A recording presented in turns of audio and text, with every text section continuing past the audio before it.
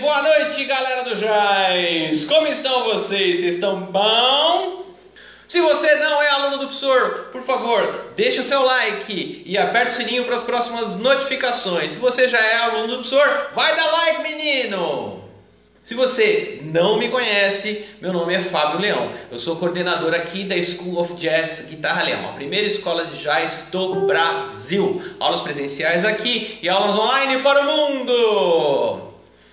Aqui atrás vocês veem os quadros de Fê Mota. Se quiser algum quadro é só encomendar, porque o ateliê dela é aqui, veja só. Tem do grandão e tem do pequenininho. Olha que bonitinho. Chord Melody, né? Eu separei uma musiquinha chamada Satin Doll do Duke Ellington para mostrar para vocês mais ou menos como é que ela que a gente vai montar esse chord melody, tá? Primeira coisa, você tem que dominar o formato da música que você quer fazer, o tal do chord melody. E só para esclarecer, o nome não é chord melody, que eu acho horroroso, tá?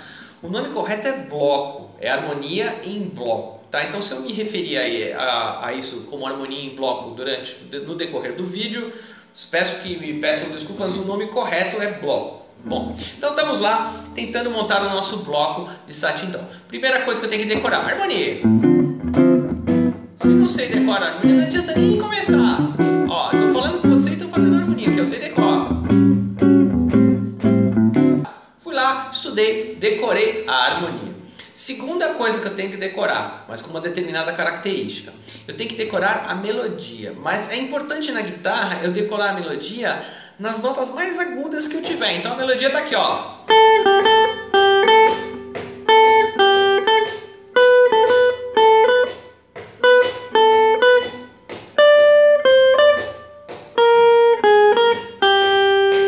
Aí fui lá, decorei a melodia na pontinha do instrumento. Agora eu vou juntar tudo. Como é que eu faço para juntar os acordes com a melodia?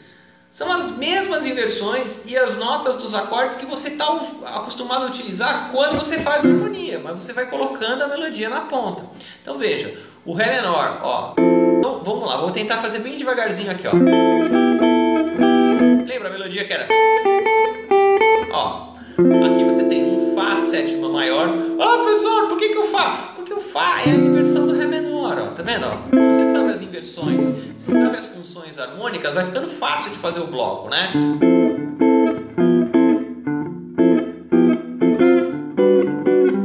Ó, aqui é a mesma, a mesma regra, ó. Os mesmos acordes. Eu vou usar esse, essa forma, forma de acorde e essa forma de acorde. Essa forma de acorde e essa forma de acorde. Aí vem um pouquinho diferente aqui, ó. Sabe que é Ré7 a harmonia, certo? E a, a, primeira inversão mais óbvia de Ré7 é o Fá sustenido meio diminuto. Ah, é ele aqui, ó, com a melodia na ponta. Tá vendo? E depois é o Ré bemol 7 aqui, deixa eu pôr no, no ângulo aqui. Ré bemol 7. Certo? Como é que isso fica sonoramente? Importante.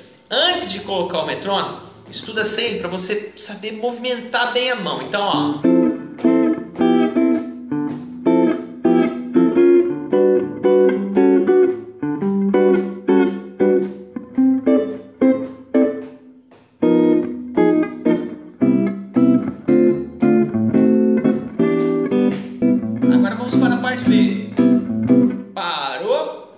Então é. De novo, é um sol Fá maior, né? Harmonia, Fá maior. E. Melodia é essa. Só inversões do próprio Fá maior, ó.